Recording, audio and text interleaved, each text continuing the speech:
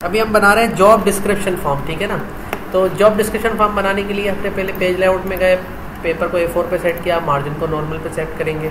उसके बाद फ़ाइल में जाके हम इसको सेव करेंगे और इसका नाम रख दिया हमने जॉब डिस्क्रिप्शन फॉर्म इंसर्ट में जाके टेबल पे क्लिक करेंगे और एक रो बनाएँगे। जो ये रो बनी है, इसको चार हिस्सों में डिवाइड करेंगे। तो लेआउट में जाके स्प्लिट सेल करेंगे और से हम कहेंगे फोर कॉलम्स में इसको डिवाइड कर दें उसके बाद इसकी थोड़ी सी एडजस्टमेंट करेंगे, जैसे कि पहला कॉलम थोड़ा छोटा चाहिए होगा हमें। दूसरा कॉलम जो है थोड़ा सा बड़ा चाहिए होगा, तीसरा कॉलम थोड़ा छोटा चाहिए होगा, और चौथा कॉलम हमें थोड़ा बड़ा चाहिए होगा। जब ये सेटिंग हम कर चुकेंगे, उसके बाद हमें क्या करना है, एक और रो ऐड करानी है। तो इंसर्ट करा ब्लो दूसरी रो और इस तरह से जो दूसरी रो होगी, वो ऑटोमेटिकली बड़ी हो जाएगी, क्योंकि जब हम इसके अंदर लिखेंगे तो वो ऑटोमेटिकली छोटी बड़ी होती रहेंगी। तो कितनी रोज चाहिए हमें उसके बाद, एक जैसे एक, दो, तीन, चार, पाँच छः छः रोज ऐसे चाहिए। तो one two three four five six six rows हमने ऐसे एड कराई।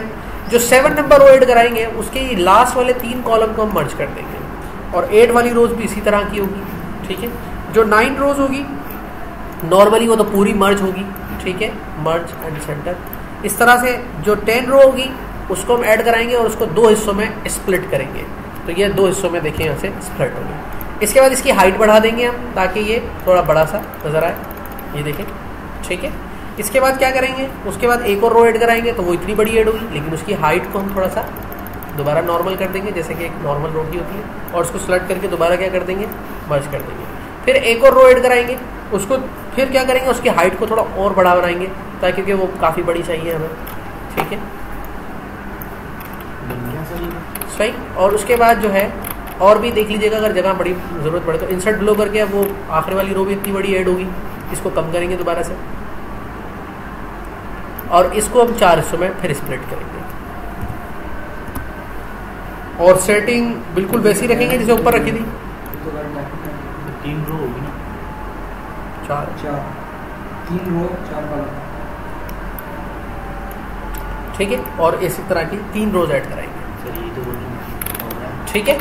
ये देखें पर। Fill करना है बस। ये इसका स्ट्रक्चर बन गया अब इसको फिल करना है। तो पहले वाला में रखना है क्या लिखना है? जॉब टाइटल ठीक है? और उसके अगले वाले को आप खाली छोड़ देना क्योंकि उसमें कुछ लिखना ही नहीं है। जॉब कैटेगरी ठीक है? और फिर लिखेंगे डिपार्टमेंट ऑब्लिक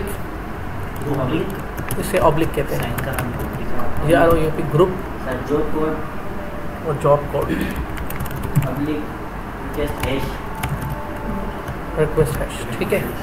और इस तरह से अब ये पूरा भरते चले जाना। ठीक है उसके बाद फॉर्मेटिंग के लिए क्या करोगे? जैसे ये है ना इसको डिज़ाइन में जाके ये इस तरह का फॉर्मेट दे देना। अच्छा लगेगा हो जिसमें वाइट से लिखेंगे ना हम। दूसरा भी दे सकते हैं? दूसरा भी दे सकते हैं आपकी मर्ज़ी है। हो ये मैंने ब्लैक एंड व्हाइट प्रिंटर के एतबार से कलर मतलब बॉर्डर में से देंगे। डिज़ाइन में जाके। शेडिंग के ऊपर वाला ऑप्शन शेड अच्छा ठीक है? अच्छा उसके बाद जो है, ये जो हिस्सा आप लिख रहे हैं, इसको सेलेक्ट करके आप करेंगे यहाँ से. स्ट्रॉन्ग और साइज़ रखेंगे ट्वेल्व इसको भी सेलेक्ट करके करेंगे आप. स्ट्रॉन्ग और साइज़ रखेंगे इसका ट्वेल्व और इनको भी करेंगे आप स्ट्रॉन्ग और साइज़ रखेंगे. हाँ नहीं, मैं बता रहा हूँ स्टैंडर्ड फॉर्मेट में जाएँगे तो आपको ज़रा अच्छा रिज़ल्ट मिलेगा ना इसको. इसी तरह से यहाँ पर भी जो आप लिखेंगे रिसीव्ड बाय वगैरह रिसीव